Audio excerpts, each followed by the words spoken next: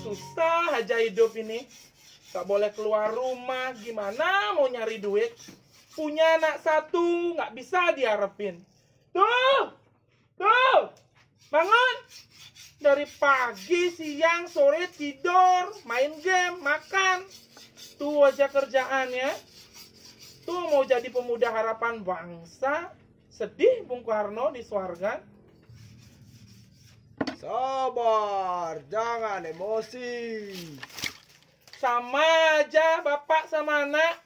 Sabar. Ribut aja mau tidur.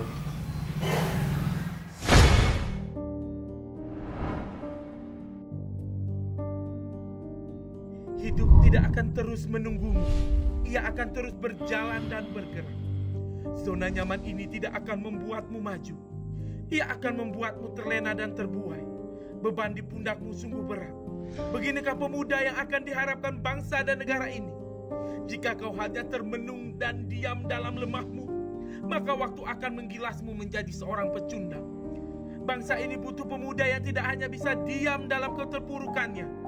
Pada masa seperti inilah, bangsa-bangsa dirimu diri bergerak, bergerak, memutar memutar kembali kehidupan yang telah mati sejenak. Segala asa, segala asa dari pendahulu bertang dalam angan dan harapan harapan. Bangunlah, bangunlah dari lelabu, bangkit, bangkit.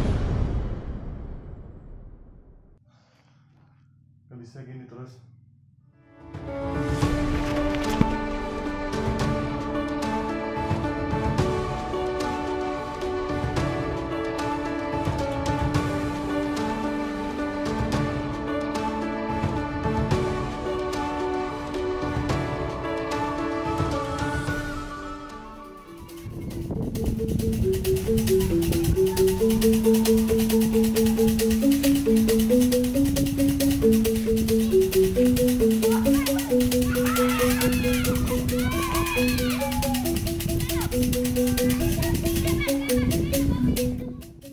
Bangkit adalah sebuah kata yang mungkin mudah untuk diucapkan.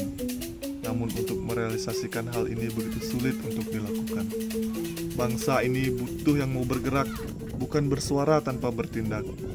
Bangkit di tengah pandemi, bersama membangun asa, membantu sesama dengan kasanah budaya bangsa.